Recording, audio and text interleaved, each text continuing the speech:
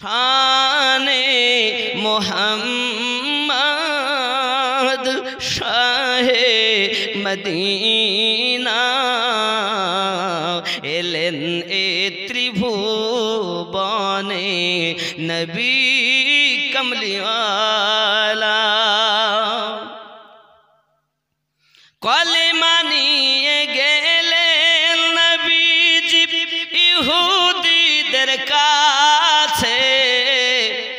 পাথর মেরে তাড়িয়ে দিল দয়া নবীকে। কলেমা নিয়ে গেলেন নবীজি ইহুদিদের কাছে। পাথর মেরে তাড়িয়ে দিল নূর নবীকে।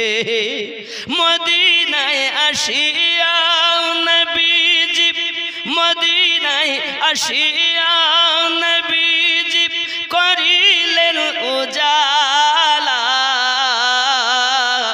তিনি তো মোহাম্মদ, নবী কমলিওয়ালা।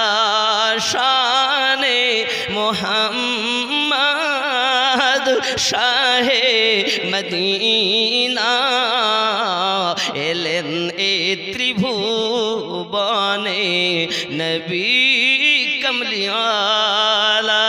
জোরে বল।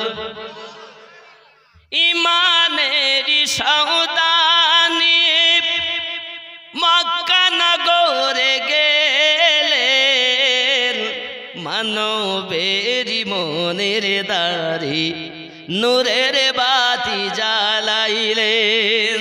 জোরে বল। ওলি আল্লাহরা যেমন কলবে আলো জ্বালিয়েছেন, নবী তেমন জ্বালিয়েছেন। নবীর পাওয়ার আলাদা অলি আল্লাহর পাওয়ার আলাদা।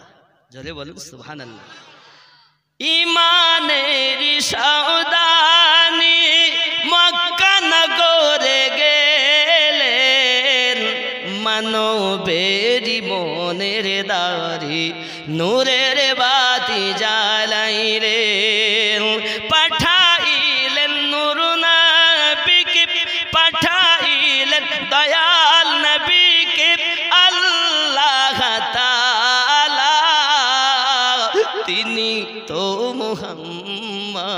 মোহাম্মদ ওগো নবী, কমলিওয়ালা শানে মোহাম্মদ ওগো শাহে মদিনা, এলেন এ ত্রিভুবনে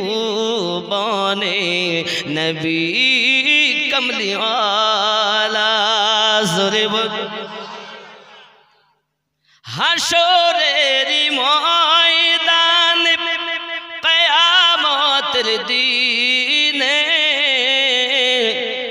বিচার করিবেন আল্লাহ বসে সিংহাসনে। হাসরের ময়দান কয়ামতের দিনে বিচার করিবেন আল্লাহ বসে সিংহাসনে। ওই দিনে ওই দিনে নবীজি হবেন উম্মতেরি ভেলা। তিনি তো মোহাম্মদ, নবী কমলিওয়ালা। শানে মোহাম্মদ ও গো শাহে মদিনা। এলেন এ ত্রিভুবনে নবী কমলিওয়ালা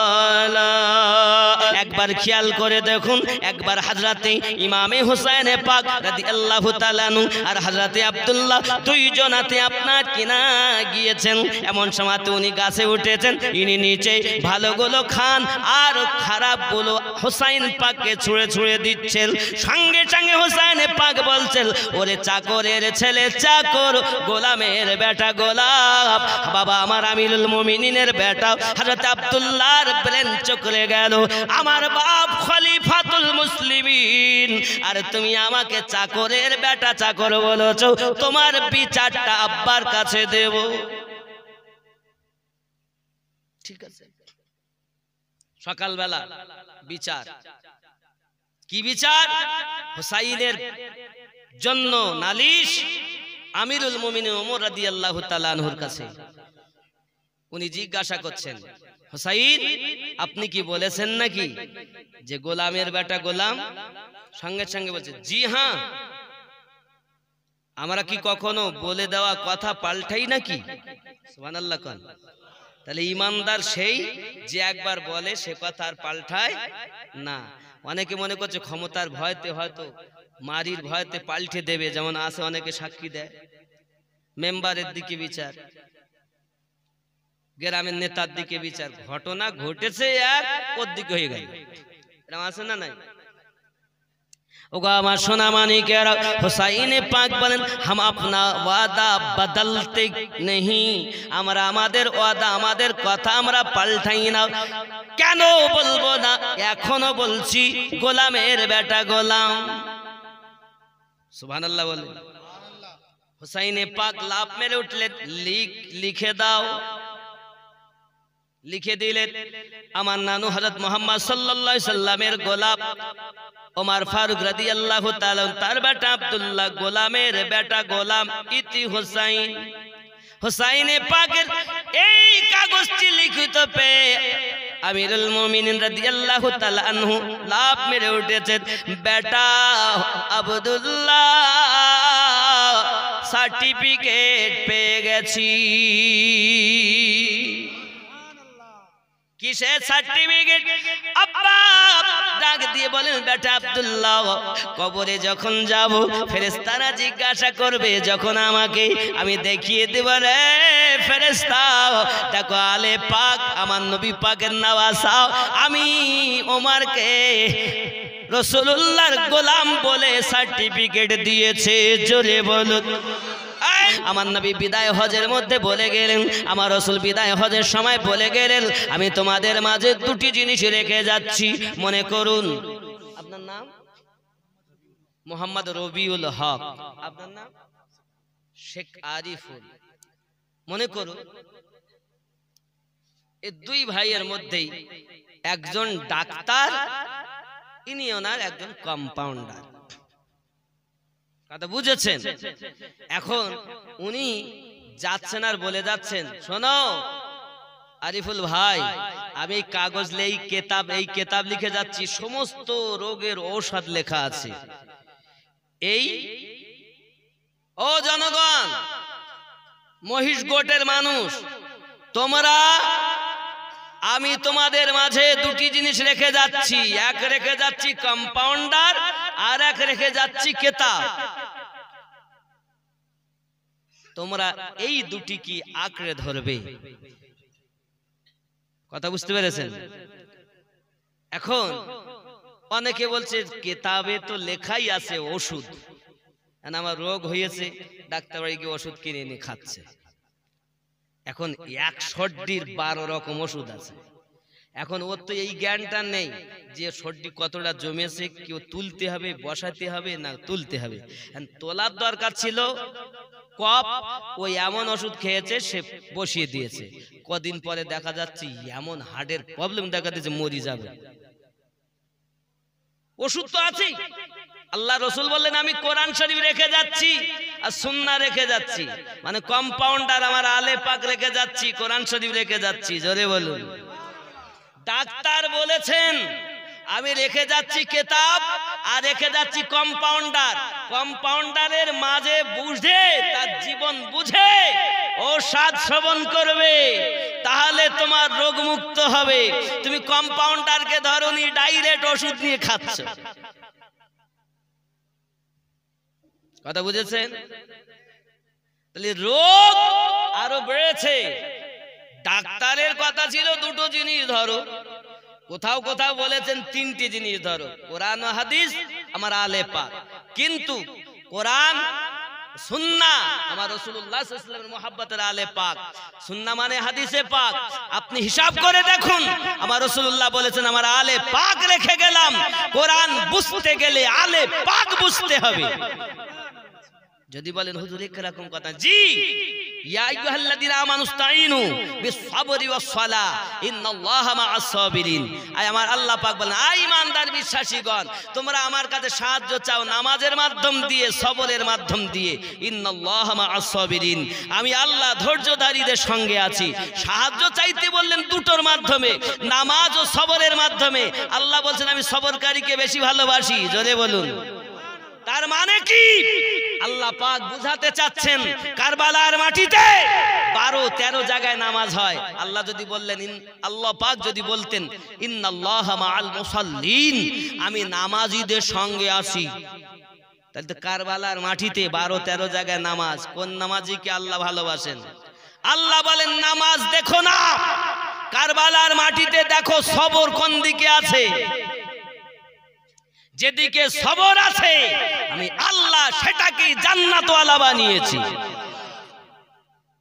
কিন্তু এদের নামাজ আছে, এদের মধ্যে সবর, মোহাব্বত। বলেন সুবহান আল্লাহ তাহলে কোরআন বুঝতে গেলে কিতাবের ওষুধ খেতে গেলে কম্পাউন্ডারের মাধ্যমে খেতে হবে। কোরআনকে তুমি জানতে, বুঝতে গেলে আলে পাককে ধরতে হবে। আলে বায়াতকে আপনি ধরবেন না। বুঝে যাবেন, পথ পাবেন না, রোগ সারবে না। রোগ সেরেছে তাদের আলে পাকের মাধ্যম দিয়ে জীবন গঠন করতে চেয়েছে যারা। হুজুর, আমরা আলে পাক কি করে পাবো? তারা তো কারবালায় কে শহীদ হয়েছেন। ও বাবা, আলে পাক আপনি কোথায় পাবেন? খেয়াল করুন। আলে পাক ইমামে হোসেন পাক রাদিয়াল্লাহু তাআলার বেটা জয়নুল আবেদিন।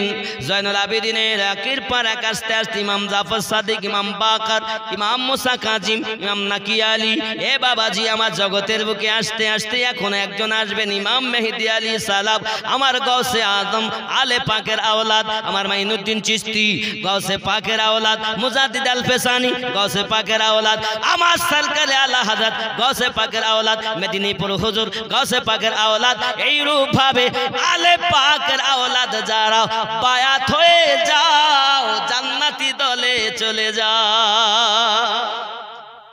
এক কথায়, মুর্শিদে কামিল যারা, তাদের কাছে বিক্রি হও, যাকে বলে পীর মুরিদি, জোরে বলুন। আমার কথা কি বোঝা গেছে? সার মর্ম।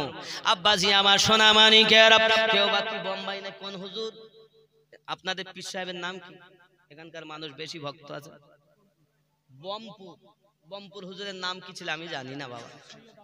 সৈয়দ আমির হোসেন চিস্তি খাজা মাইনুদ্দিন চিস্তি আজমিরি, এ হুজুরের খলিফা, জোরে বলুন। ওনারি আওলাদ খাজা তোমার নামটি মজা, জপি দিবাস রজনী মাইনুদ্দিন নাম খানি তোমার নামের মালা গেথে কাটাবো জিন্দেগানি মাইনুদ্দিন নাম খানি জরে বল। ঠিক কি না খেয়াল করুন